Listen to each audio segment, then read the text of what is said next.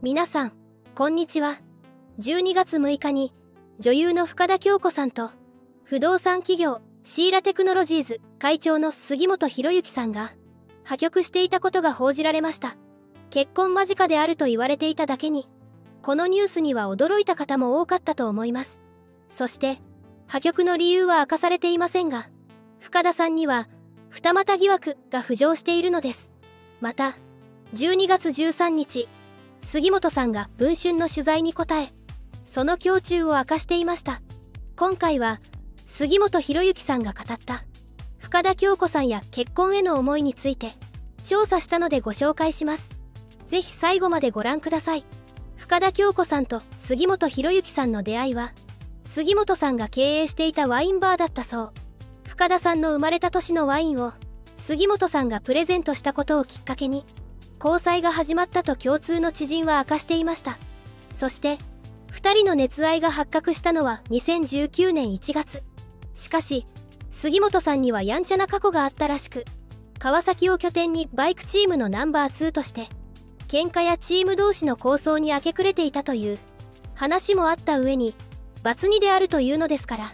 この2人の恋愛には周囲から懸念の声が上がっていたそう。しかしそんな懸念とは裏腹に深田さんが2021年5月に適応障害で活動休止した際には杉本氏が献身的にサポートしマイナスイメージは払拭されていったんだとかある芸能記者は深田が21年に適応障害で仕事を休まざるを得なくなった時も杉本氏は彼女の自宅に通いつきっきりで看病するなど海外しく尽くしていたと明かしていました。また金銭に頓着がないという深田さんのために資産管理会社を作ることをアドバイスし杉本さん自身が率いるシーラ社の株も購入させました。今年3月不動産投資会社シーラテクノロジーズが米国ナスダック市場に上場した後深田さんの含み益は3倍になったと言われています。しかも深田さんが41歳の誕生日を迎えた11月2日週刊誌が2人が深田さんの実家を訪れる姿を目撃した際には深田さんの左手薬指に指輪がきらめいていたそう。こういった姿から結婚秒読みと見られていた2人ですが12月6日2人の破局が報じられます。6日に公開されたスポニチアネックスの記事では杉本さんが同志の取材にお別れしたのは事実ですと認めましたがそれ以上はすみません。彼女の幸せを願っています。とコメントし破局の理由は語らなかったといいます。その一方で深田さんには二股疑惑が浮上したのです。週刊誌記者によるとそのお相手は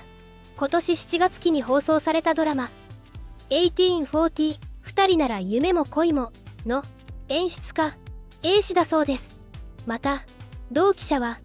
スポニチだけでなくニュースポストセブンも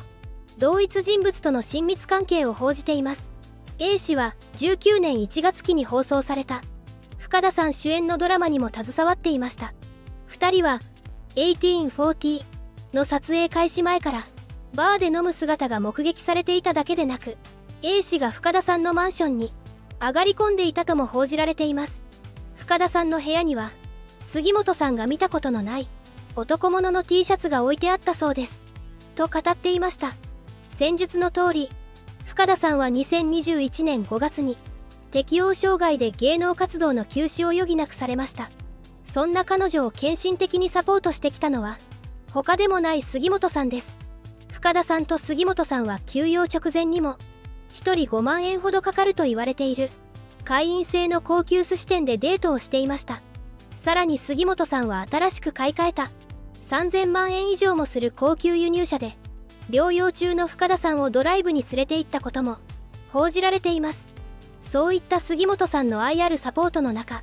深田さんの方は変わらなかったんだそう。ある芸能関係者は深田さんに「お騒がせ女優」のレッテルがついてしまうことを危惧しています。かねて杉本さんは結婚について会社が上場したらと話していました。シーラ社は厳しいコロナ禍を乗り越え今年3月に米国ナスダック市場に上場。悲願を達成させた杉本さんは深田さんとの結婚に向けて本腰を入れていたはず。直前まで義両親とも交流する仲だったのにいきなり破局というのは何かトラブルが発生したと考えるのが普通でしょう。一方深田さんには杉本さんとの深夜の喧嘩や連日の深酒を報じられたことも。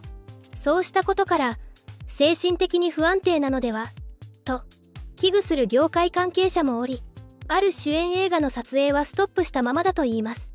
もし A 氏との親密関係が事実だとすれば深田さんは杉本さんを裏切ったことになります。自らの両親に紹介していたにもかかわらず結婚間近の土壇場で破局するとは前代未聞。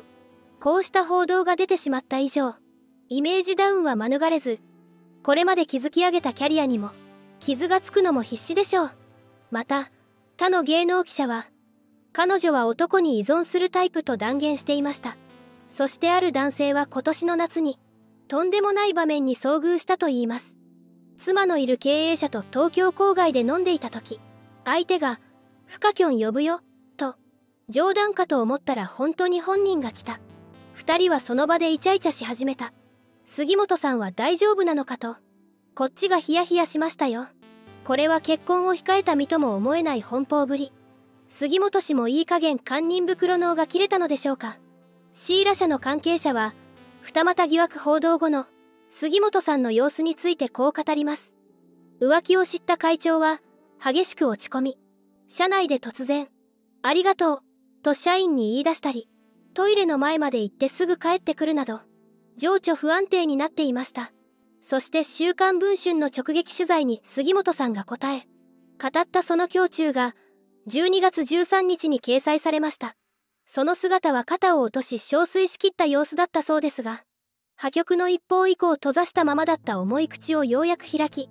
破局が事実であるか問われると「はい」と回答。結婚を真剣に考えていたのは事実であることも認めました。そして破局の原因は深田の男性関係かとの問いに「そうですね」と一言そして審議した末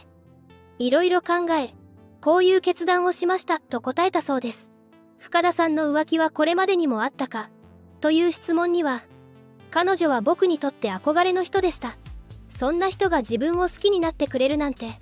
こんな奇跡ないじゃないですか。ただ一緒にいてくれるだけで幸せでした。と曖昧な回答。完全にお別れしましたとも話しており復縁もなさそうでした。深田さんといえば